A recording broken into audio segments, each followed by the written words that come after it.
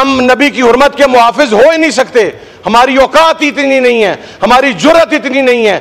اس لیے کہ اللہ رب العزت نے اپنے نبی کی حفاظت، اس کی حرمت کی حفاظت کی ذمہ داری خود اپنے ذمہ لی ہے۔ میں یہ مطالبہ کرتا ہوں کہ یہ ایوان بھی اپنی ذمہ داری پوری کرے اس حوالہ سے اور آپ اس حوالہ سے ایک کمیٹی بنائیں۔ سپریم کورٹ سے بات کی جائے کہ آپ نے آئین پاکستان کو ری رائٹ کیا ہے، آپ نے آئین کی روح سے کھیلا ہے اور جن ججز نے یہ کام کیا ہے، انہیں انصاف کے کٹاڑے کے اندر لے کر آنا چاہیے۔ اور میں یہ سپریم کورٹ آف پاکستان سے بھی ریکویسٹ کروں گا کہ آپ اپنے فیصلے کے اوپر نظر ثانی کریں جناب والا۔ یہ کوئی سیاسی ایشو نہیں ہے، یہ ہم سب کے ایمان کا معاملہ ہے۔ السلام علیکم۔ ناظرین، یہ گفتگو سنیں، پھر اس پر بات کرتے ہیں۔ محمد ابا احادم من رجالکم ولاکر رسول اللہ و خاتم النبیین۔ وکان اللہ بکل شیئن علیما صدق اللہ مولانا العظیم۔ فرمان مصطفیٰ صلی اللہ علیہ وسلم ہے کہ انا خاتم النبیین لا نبی عبادی جناب اسپیکر آج آپ کے توسط سے میں یہاں پر کوئی پارٹیزم کی بات نہیں کروں گا۔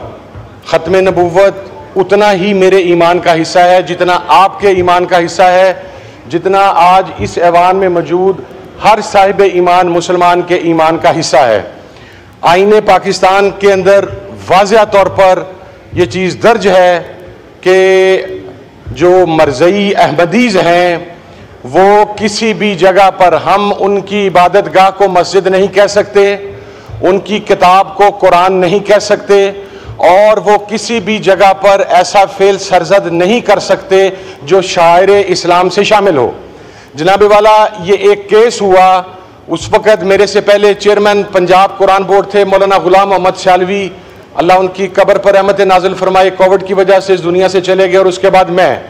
ایک انسیڈنٹ ہوا اور ہمیں اطلاع ملی کہ ایک جگہ کے اوپر قرآن پاک تحریف شدہ صورت کے اندر اور تحریف شدہ ترجمہ کے ساتھ پرنٹ اور پبلش ہو رہا ہے۔ اکارڈنگ ٹو دا پنجاب قرآن بورڈ ایکٹ جو نان مسلمز ہیں، نہ وہ قرآن پاک کی پرنٹنگ کر سکتے ہیں، نہ وہ قرآن پاک کی پبلشنگ کر سکتے ہیں، جناب اعلیٰ۔ اس فیصلہ کے اوپر وہ میٹیریل بھی وہاں سے ضبط کیا گیا۔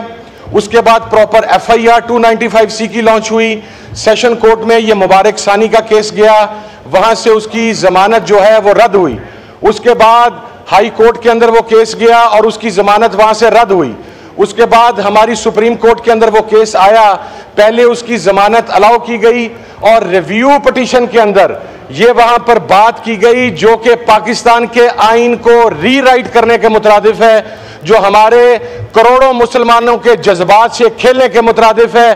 ہماری سیٹیں، ہماری عزتیں، ہماری جان، مال، ہماری سیاسی وابستگیاں یہ سب جوتے کی نوک پر ہیں جہاں پر نبی پاک صلی اللہ علیہ وسلم کی حرمت کی بات آتی ہے۔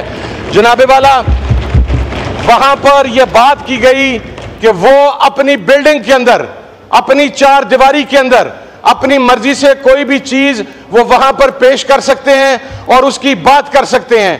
میں سوال پوچھتا ہوں اپنی سپریم کورٹ آف پاکستان کے ججی سے کہ جناب والا مجھے یہ بتائیں کہ ہم سب باشعور مسلمان ہیں اور ہمارے ہاں کسی کو کافر قرار دینا، کسی کے اوپر فتوے لگانا اور کسی کی توہین کرنے کی اجازت نہیں ہے۔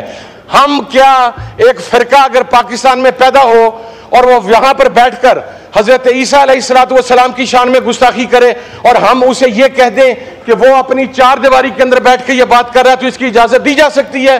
ٹو نائنٹی فائیو سی صرف نبی پاک صلی اللہ علیہ وسلم کی حرمت کی ضامن نہیں ہے۔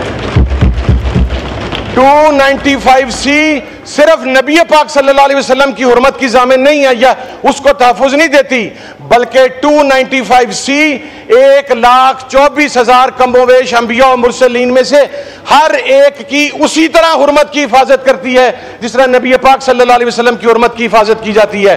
اور ایک اور بات عرض کر دوں کہ یہ نبی کی حرمت کی جو بات ہے، ہم نبی کی حرمت کے محافظ ہو ہی نہیں سکتے۔ ہماری اوقات اتنی نہیں ہے، ہماری جرت اتنی نہیں ہے۔ اس لیے کہ اللہ رب العزت نے اپنے نبی کی حفاظت، اس کی حرمت کی حفاظت کی ذمہ داری خود اپنے ذمہ لی ہے۔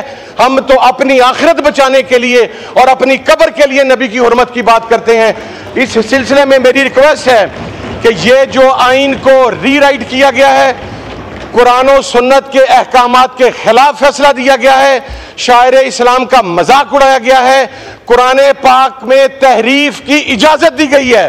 یہ پاکستان میں نہیں ہو سکتا کہ کوئی ہمارے لاکھ سیاسی اختلافات ہوں گے۔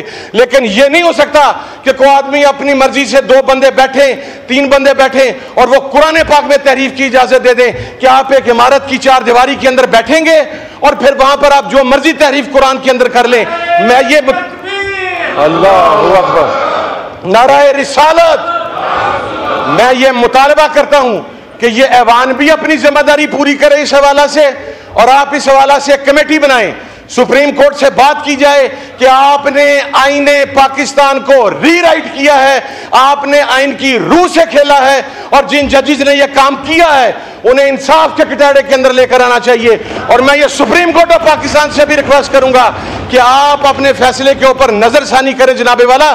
یہ کوئی سیاسی ایشو نہیں ہے، یہ ہم سب کے ایمان کا معاملہ ہے۔ اور مجھے یقین ہے اسپیکر صاحب کہ آپ اس کے اوپر کوئی ایسی رولنگ دیں گے جس کے ساتھ جو کروڑوں مسلمان ہیں پاکستان میں اور اربوں مسلمان پوری دنیا میں ان کے جذبات جو مجروح ہوئے ہیں، اس کے اوپر انشاءاللہ کوئی ایسا رولنگ آئے گی کہ آپ کی قبر بھی، آپ کی آخرت بھی، آپ فخر بھی محسوس کریں گے۔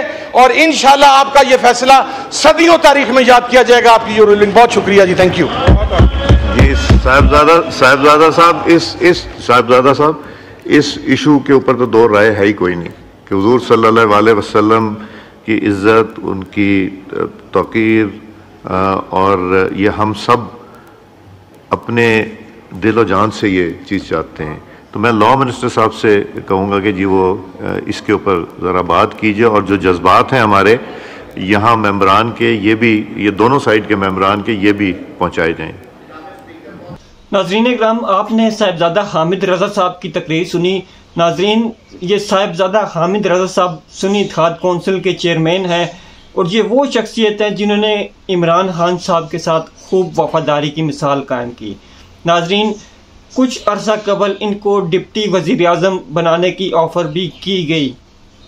لیکن انہوں نے اس آفر کو بھی رد کر دیا اور عمران خان صاحب کے ساتھ ڈٹ کر کھڑے رہے۔